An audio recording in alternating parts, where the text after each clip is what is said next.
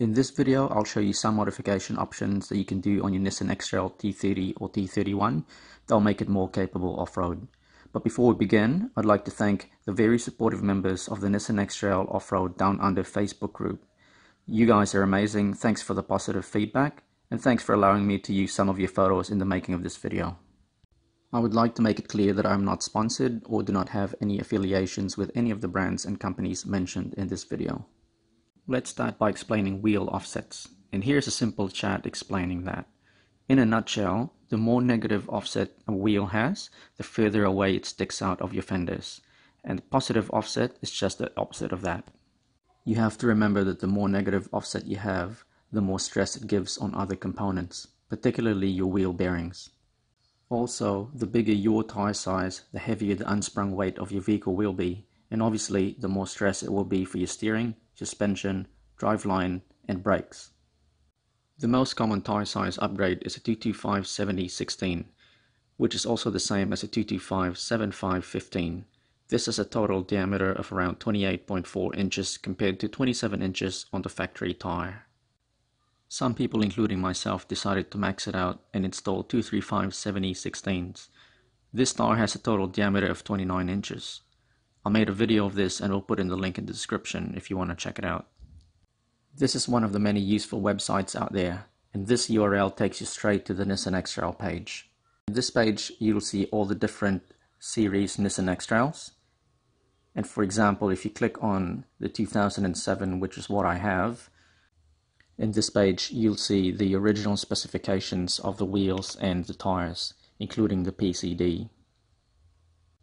One of the tabs will take you to a tire calculator, which is very important if you are deciding to change the tire size, the wheel or the tire size of your vehicle. So in here, you'll have two sections. The left one, which is going to be the tire that you're currently running, and the wheel as well. And the one on the right is the new wheel and tire size you plan to install. So you basically fill up all the fields and it, it will automatically calculate the differences between the current tire and the new tire that you plan to install. So if you scroll further down, you'll see the exact measurements of both wheel and tire. You even have typical weight, so you can compare the weight as well. Obviously an estimated weight of each wheel and tire. It will give you a lot of detailed information, but basically the two most important things that you want to be looking at would be the width of the tire and the height as well. If you are running original rims on your vehicle, you can upgrade to the 225 70 16 tire size without needing to change anything. You may get a little bit of rubbing at full steering lock, but it's nothing to worry about. However, if you are planning to put in 235-70-16, you will get some rubbing. And you would need a rim with a minimum negative offset of at least 35 mils to clear it.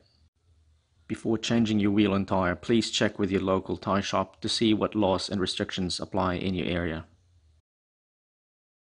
There are a few options for suspension lifts ranging from 25 to 50 mils or 2 inches. There are different brand lift springs and uh, struts available, and some of the springs have load ratings. Now, what that means is that uh, the higher the load rating, the more weight you can carry until the spring starts sagging. But airbags are a better option to keep the vehicle level when loaded if you want to go that way. It's worth noting that you can use the original struts with any of the lift springs. However, it is recommended that you buy the camber correction kit to compensate for the extra height. It's also worth noting that when you change your struts, make sure you do change your strut tops. I do have a video showing what springs and struts I installed on my Nissan X-Trail, so I'll put a link in the description below for your reference. Now the other uh, lift option that gives you a maximum height of 50 mils or 2 inches are called strut spacers. Now there's a company in Queensland, Australia called Superior Engineering and they do manufacture these things.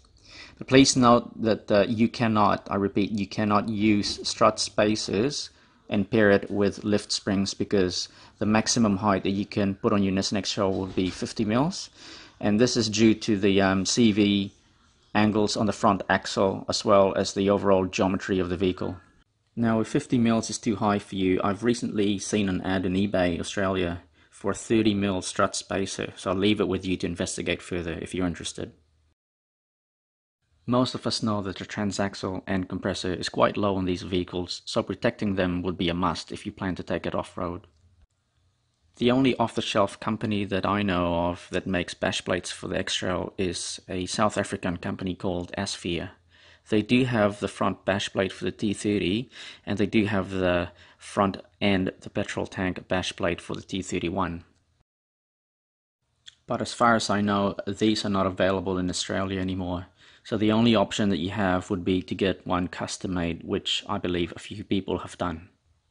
There are a few things you can do to prepare your Nissan X-Trail for a water crossing, and they don't cost a lot of money either. The first thing is to extend the differential and transaxle breathers. Again, I have a video about this that I will link in the description below. The second thing you can do is locate the relay that controls the thermal fans of your radiator. And what you can do is you can temporarily remove this relay before you do your water crossing.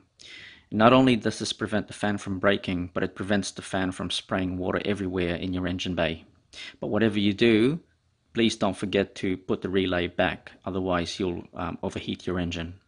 Inox or WD-40 is a must-have. Spray it all over your electricals before every water crossing. I've crossed several streams and done the Condamine River track which crosses the Condamine River 14 times this is back when my X-Trail was stock standard with highway tires. And at one crossing I remember that the water was deep enough to go above the door seals. Never had issues with it and all I did was followed whatever I mentioned just before. And the last one is a snorkel. But there is no off-the-shelf snorkel available for a Nissan X-Trail. However, people have successfully used a snorkel from a Navara D22 and even a D40 in other countries, they call this the Nissan Frontier. There are different styles and shapes of these snorkels, so each one of them will have a different fit to your Nissan X-Trail.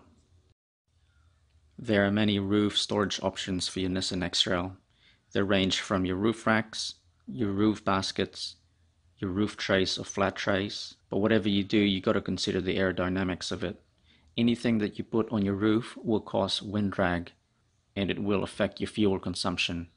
By design, you cannot put a full length roof rack unless you customize one for yourself, which is doable and some people have done it. You have quite a few options for your front bar work for your X-Trail. But whatever you do, make sure that the bar work that you install is airbag compatible and ADR approved if you are in Australia. These range from your factory nudge bars aftermarket ones to your full-on front bar work, which gives you a lot of protection, especially if you're driving in the area in Australia where there are a lot of kangaroos. You can also custom fit a rear tire carrier, which someone has actually done here in Australia. It can be customized to carry jerry cans for extra fuel or water. If you plan to install a light bar on your factory nudge bar, 22 inches would be the way to go.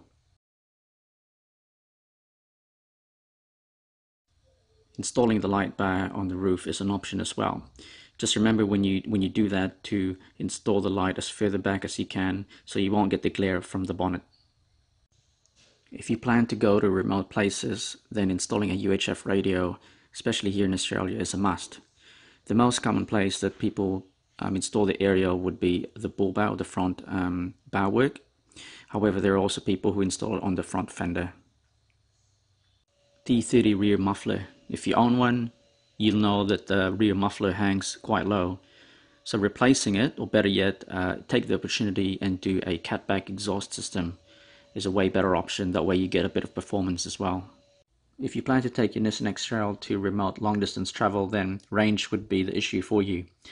Now, if you own a Nissan X-Trail T30 in Australia, then you may be in luck because there's a company called Long Range Automotive that sell a 50 liter auxiliary fuel tank just take note though that it's not it, it is not compatible with the Hayman Reese tow bar R1895 and you will have to change your rear muffler as shown in the photo because that's where it fits. And if you do live overseas and you can't you can't find an auxiliary tank off the shelf, then I'm sure you there's a way to custom make one. And now last but not the least, some of you may have seen photos online of Nissan X-Trails with a winch installed. And actually there is a company in Europe that do sell a winch mounting kit for Nissan X-Trail T30. Now, long story short is that yes, obviously it is possible to fit a winch, but no, you do not want to fit a winch because the winch that these guys fit are really low rated winches and the reason being is that uh, the X-Trail doesn't have a, a, full frame chassis. It doesn't have the mounting, the proper um, frame and support and uh, structure to be able to to handle such uh, force when recovering the vehicle. So what they these guys do is they put a, uh, really low rated winch so that uh, basically the winch gives up first before it starts tearing apart your bending your the front end of your vehicle even if you can find a person or a company that will um, reinforce the front, the whole front end of your X-Trail, and let's say they are successful in doing that, put it this way, in real life, by the time you spend that amount of money, you will just not do it on a Nissan X-Trail. You would rather sell your Nissan X-Trail and buy a Land Cruiser or a Land Rover or a Patrol or whatever full drive. You just won't do it on a Nissan X-Trail. So the best way to recover your Nissan X-Trail is to self-recover like traction boards, hand winches, and better yet, you can use the rear tow bar, if you've got one, as a mounting point for your winch because you can buy a winch cradle that attaches to your tow bar and that way you can install like a um, five, six thousand pound winch and that'll be enough to pull your Nissan X-Trail out. I've got a couple of videos I created in the past about uh, recovery, vehicle recovery. I'll put a link in the description again for your reference if you want to check that out. Thanks for watching guys. I appreciate you watching till the end of the video and I hope you've picked up good information from this. And don't forget to subscribe to my channel if you haven't yet. Give us a thumbs up and I will see you in the next video.